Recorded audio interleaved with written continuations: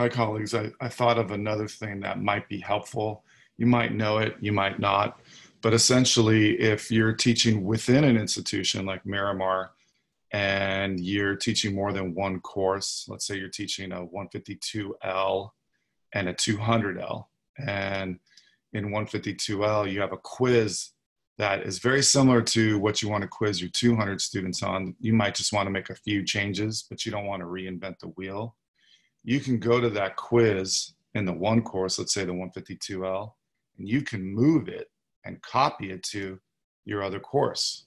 So the way you do that is again, you could just go back, go back here, go to the quiz you want to copy, click on the snowman, copy to, and then you can click on the course. So I'll post this on the chemistry online resources for people.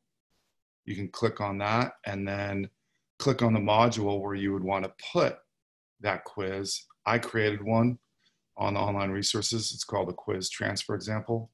Click on that. You can place it at the top, before, after, so you can choose where you want to place it in that module and hit copy.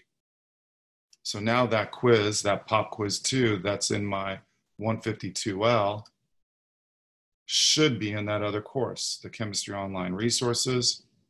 And again, I created that. And I see there's two files because I wanted to make sure it worked before I videotaped it. So I'll just remove one.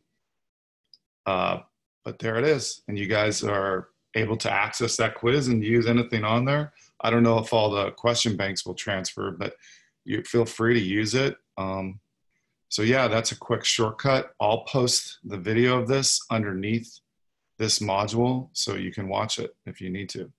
And hopefully that helps. And if not, at least I'm getting more practice. Okay, thanks.